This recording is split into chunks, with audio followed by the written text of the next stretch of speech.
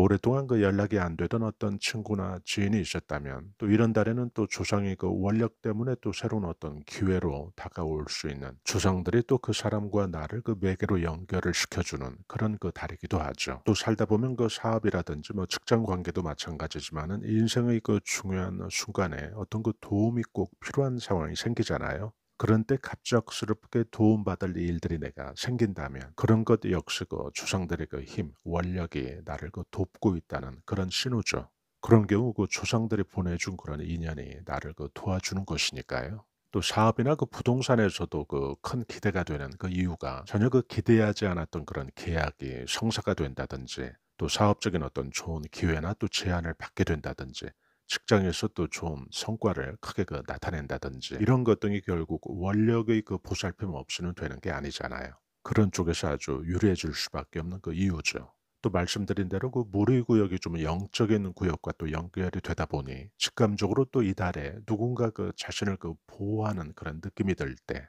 그런 것 역시 그 영적인 면에서 또 주상들과 또 소통이라고 할 수 있죠.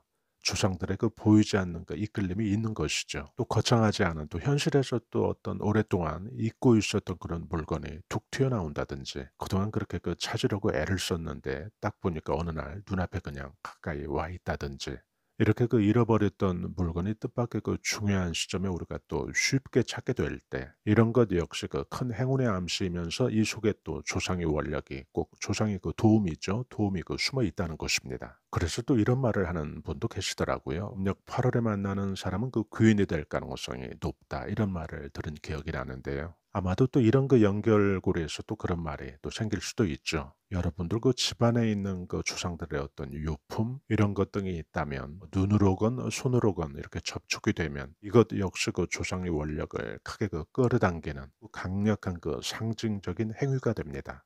돈복을 터뜨리는 아주 중요한 그 지점이 될 수 있다는 것이죠.